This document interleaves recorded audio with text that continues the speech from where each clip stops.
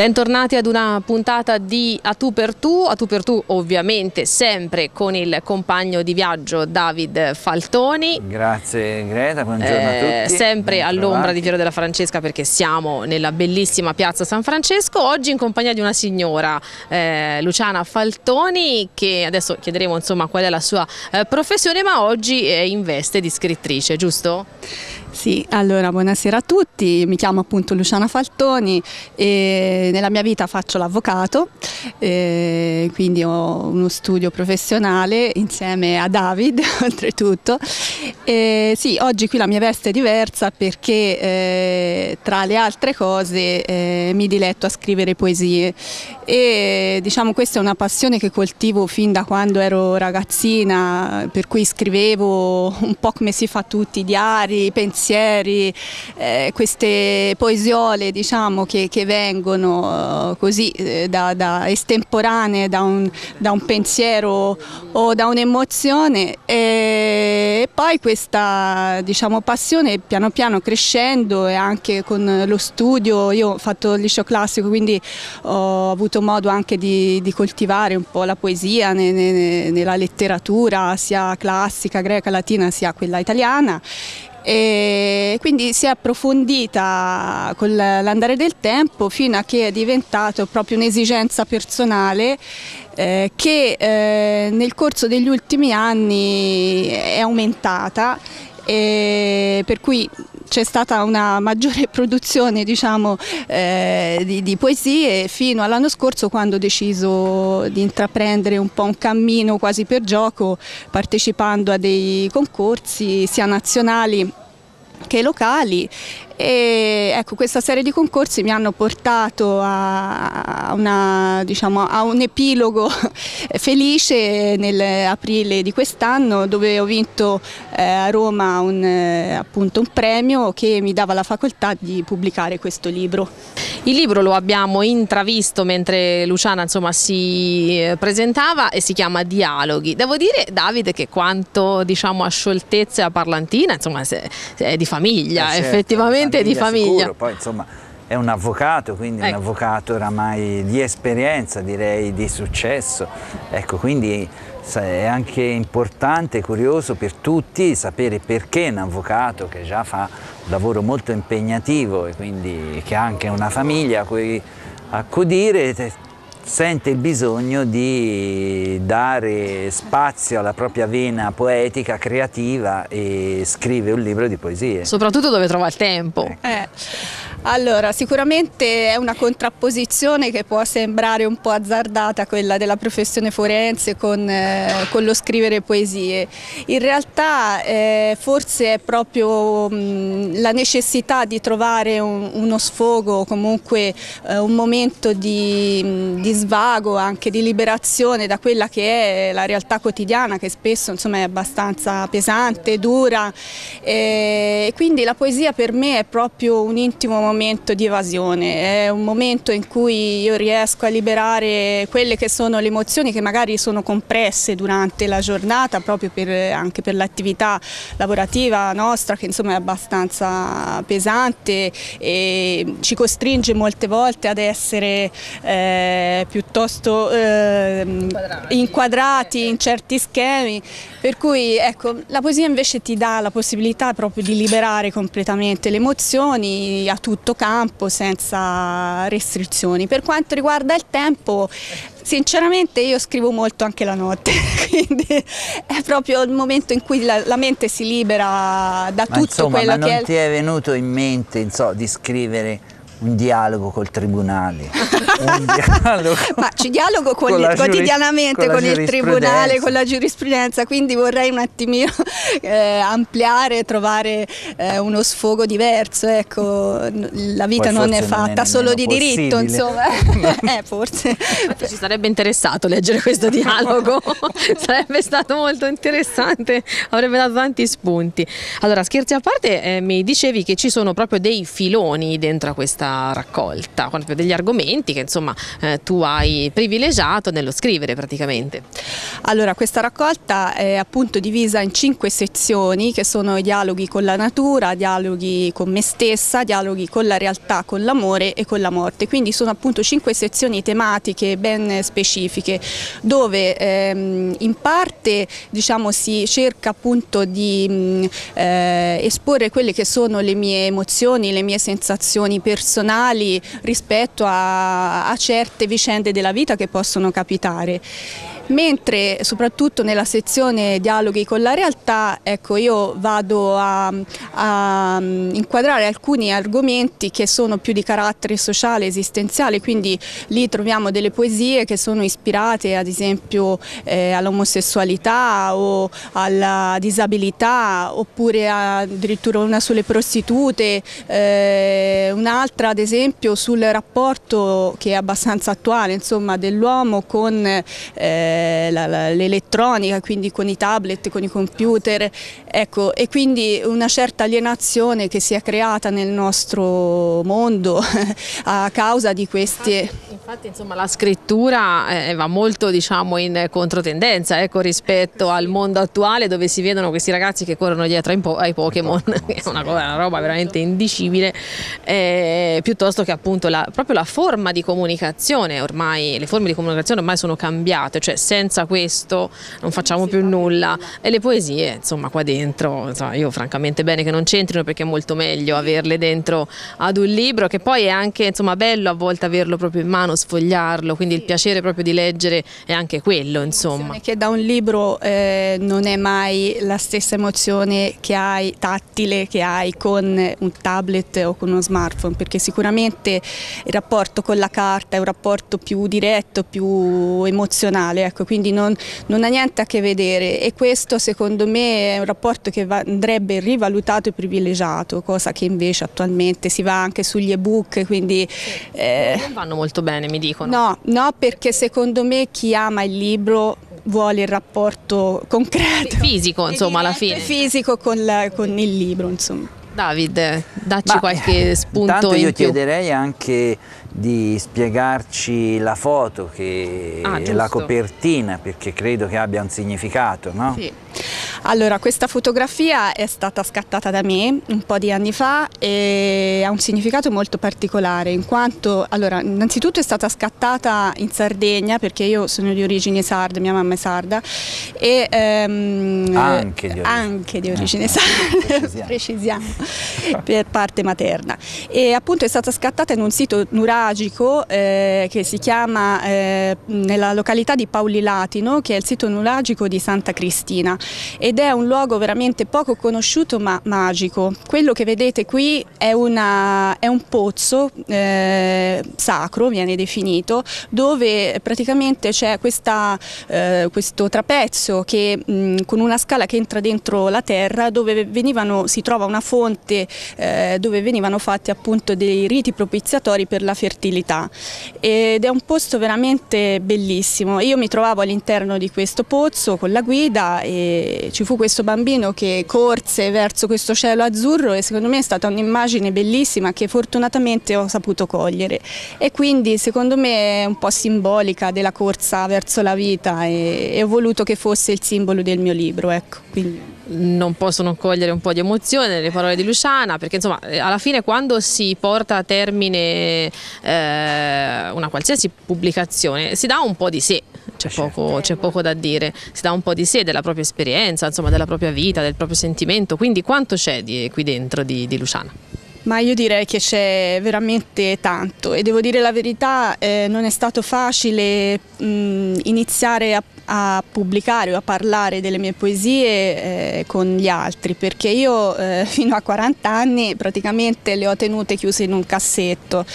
E poi un po' sulla spinta dei familiari, delle, delle amicizie strette ecco, sono stata invogliata un po' a far leggere queste poesie e a partecipare a questi concorsi. E devo dire che all'inizio è stato un po' come spogliarsi di fronte agli altri eh, perché veramente qui dentro c'è ci sono poesie che, che, ho scritto da quando avevo 12 anni, eh, quindi si vedrà anche un po' un'evoluzione nella scrittura, nel modo di esprimersi, però ecco eh, c'è veramente la mia vita in tutti i sensi, quello che sono io e quindi nel bene e nel male sono io. David, sei stato tra i parenti che l'ha spronata a pubblicare? Ma certo, l'ho sempre detto, vai, hai, avendo avuto il privilegio di leggerle prima degli altri, dico buttati perché ne vale la pena, ne vale la pena, credo ci sia delle capacità da far apprezzare, ma io direi che forse potremmo fargliene recitare una. Ah sì, infatti una. guarda, mi ha incuriosito talmente tanto che prima di proseguire nostro, la nostra piacevole chiacchierata, anche perché poi scendiamo un pochino anche sul concreto, insomma, eh, sveliamo, sveliamo, un po' eh, questa Luciana nascosta, insomma, in una, del, in una delle poesie. L'hai già scelta? Allora, io se volete posso leggervi o quella che ha vinto il premio internazionale a novembre, eh, o se no quella de, de, appunto di Ciberuomini, visto che stavamo parlando del de rapporto uomo-tablet, insomma come vuole. Me le leggerei tutte e due. Va bene. Allora, vi leggo la prima, appunto questa è dal titolo Resurrezione, fa parte della sezione eh, Dialoghi con la natura, che per me eh, il rapporto con la natura eh, è fondamentale perché eh, noi siamo ospiti in questo mondo per un lasso di tempo breve, quindi dovremmo tutti recuperare un rapporto e un rispetto nei confronti della natura che secondo me può darci tanto. Questa poesia l'ho scritta eh, lo scorso settembre eh, in seguito a una um, vacanza vacanza che ho fatto in Val d'Aosta tra le montagne che per me è stata proprio come un risorgere perché veramente è stata un'esperienza bellissima. Io poi appunto come dicevo prima da eh, quasi isolana eh, sono abituata a passare le estati al mare, invece questa è stata un'esperienza nuova che veramente stata, mi ha colpito molto. Ho scritto questa poesia appunto che a novembre ha vinto il concorso letterario internazionale Ambiart a Milano, primo premio, è stata una grandissima soddisfazione. Allora, il titolo, dicevo, è Resurrezione. Lassù, dove tutto principia, tra le vette innevate e le sorgenti d'acqua, lassù, assaporai il potere assoluto della natura, udii più forte il richiamo del vento, accolsi in me l'intimo silenzio del bosco. Lassù nessuna maschera occorse, Fui nuda e rivestita di foglie. La linfa si fece fiume tra le mie vene. L'acqua gelida purificò le mie membra e nelle rive del lago blu il mio spirito risorse. Lassù ascoltai me stessa, non conobbi solitudine, non desiderai denaro, abbandonai le frivolezze. E mentre il mio sguardo si perdeva lontano, tra le catene alpine e le nuvole sospese, la terra mi parlò svelandomi il suo mistero. Da allora sono risorta in me stessa, mi sento ricca pur non l'avendo e da lassù l'umano destino appare meno amaro. Bella, bella, poi un po' anche di ispirazione francescana, visto che siamo tra l'altro vicini alla Basilica di San Francesco. Beh, insomma, devo dire che Davide avevi assolutamente ragione, era eh. proprio il caso che venisse fuori questo no, lato. Poi insomma. ultimamente le poesie sono un po' dimenticate, mi sembra, no? eh, quindi questa forma artistica è un po' magari anche come libri, c'è più dai romanzi, da cose un po' più leggere, da più però ecco, direi che la poesia forse ha il suo fascino e la sua sensibilità che non la ritroviamo in un romanzo. Che... Senti, il libro dove verrà distribuito? Allora, al momento ehm, eh, può essere acquistato soltanto nel sito della casa editrice.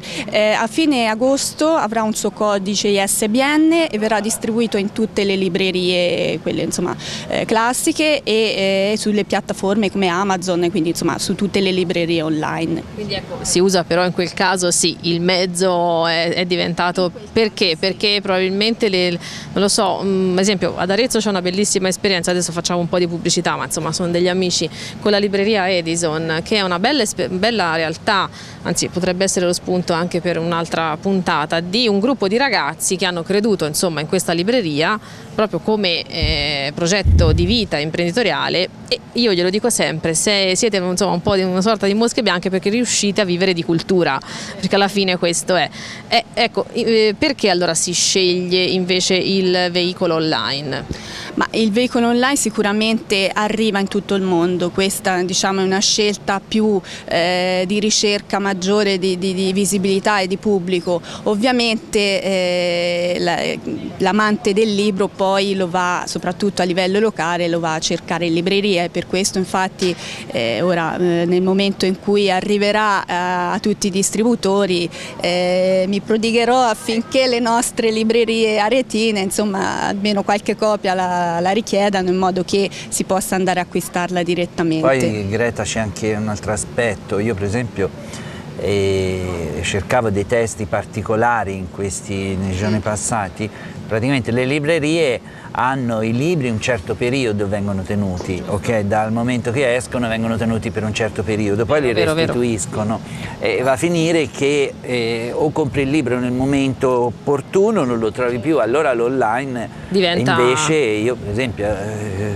ripeto, questo testo per me, per questa ricerca era introvabile in qualunque libreria, ma non solo a Arezzo, Firenze, ma perché proprio c'è un, un, un periodo, periodo, certo. rimangono certo. in deposito e poi vengono ritirati e dopo si trovano solo online. Quindi, per avvicinare i, i, bambini, non te lo chiedo a caso, io ce ne ho due, eh, alla poesia, ecco, eh, c'è un, insomma, ci sono degli step da fargli fare per poi farli arrivare a qualcosa di un pochino più importante, ovviamente quando saranno un po' più grandi. Ma allora io eh, parlo per la mia esperienza, ecco, eh, sicuramente deve essere ci si deve approcciare alla poesia come un gioco, quindi forse all'inizio eh, un bambino deve vedere la poesia come una sorta di filastrocca, no? quindi una rima, un, un modo di, di, giocare con le parole. Ecco, quindi questo gioco con le parole eh, dà la facoltà al bambino secondo me un po' di divertirsi, un po' allo stesso tempo di acquisire una certa capacità di ehm, eh, prendere delle parole ben precise e saperle collocare collocare all'interno di una strofa, di una rima, in modo tale che piano piano può diventare un esercizio sia mentale, che può essere utile anche per eh, diciamo, imparare a parlare bene in un certo modo, la scelta del linguaggio, dei vocaboli. Quindi ecco, questo secondo me, per quello che ricordo io, ho un vecchio quaderno dove avevo de delle foglie, de delle cose che, che, avevo raccolto e a fianco scrivevo delle, dei pensieri, delle filastrocchine, ecco, delle cosine che, e da lì piano piano c'è questa evoluzione de della parola. Ecco. Siamo davvero quasi in chiusura Davide di questa piacevolissima chiacchierata. Senti, quale poesia vuoi sentire? Quella sui cyber uomini o un'altra? Ma io andrei su un'altra, eh, altro argomento? magari qualcosa di più piccante. Dai, più... addirittura.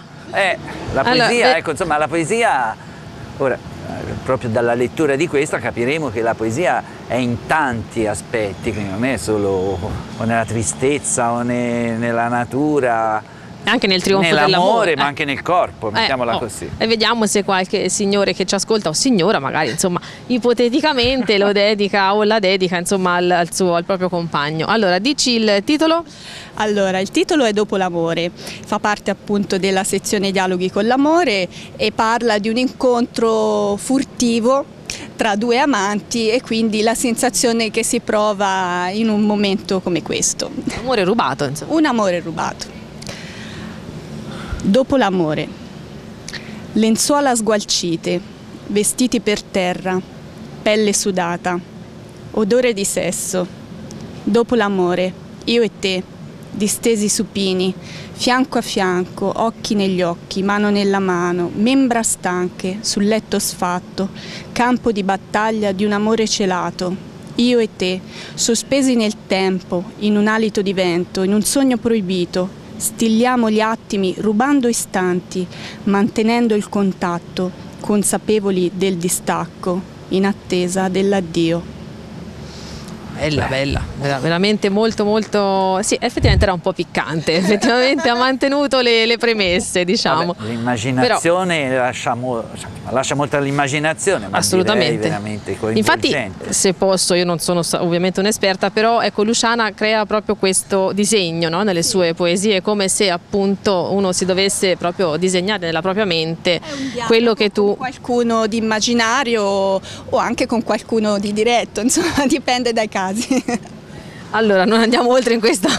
in questa... No, eh, si scherza, si scherza. Davide, grazie di questo piacevole incontro Grazie con a te, Luciana. grazie Grazie a a Luciana, Luciana. ovviamente. Voi per questa opportunità e spero che insomma qualcuno di voi abbia l'ardire di leggere queste poesie e trovare un po' di se stesso anche in quello che ho scritto io. E noi la curiosità l'abbiamo l'abbiamo suscitata. Alla prossima puntata. Alla prossima. Grazie, arrivederci. Arrivederci a tutti.